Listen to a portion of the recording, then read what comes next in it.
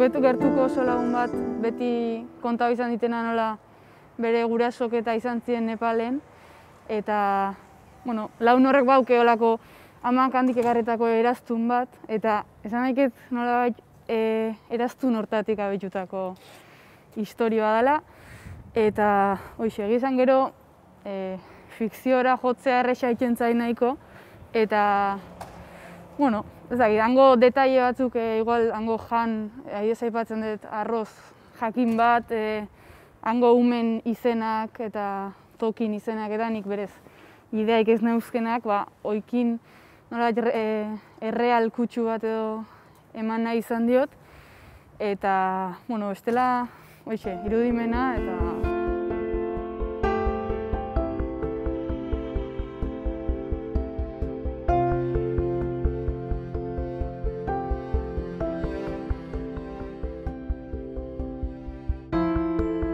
Bai, egia esan argazki hauek, oi, Elena ipadeten lagun honek eman zizkiten. Eta egia esan argazkik asko laguntzen du bertan kokatzen, uste, ze. Ez eta ez oso lagun garrin zitzaiten hasieran, e, et, hango etxe baten argazki bat da, hola, goran bandera pila batekin taola. Eta ez da, nola han ni paren baneo zela sentitzeko uste e, lagun garrin zitzaitela hoxe. Eta on, jungo nitzekela, noski, uste, Nepal jende askon ametxetako toki bat edo dela. Eta bai, ez justu igual bidaia jakin hau, baino lurra eta, eta paisaje aita jutea, bai, nahiko nuke.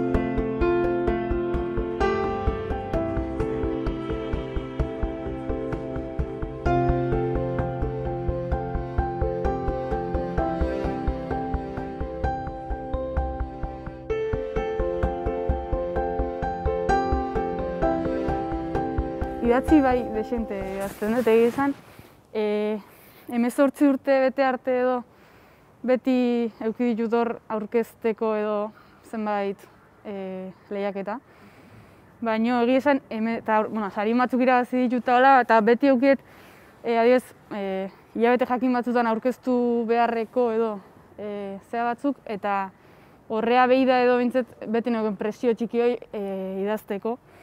Eta baina emezortzi urte pasa dituten honetan, esan zail txegoa iruditzen zait idazten jarraitze hori, edo pixkat itxaso handi txego baten sartuta ezela.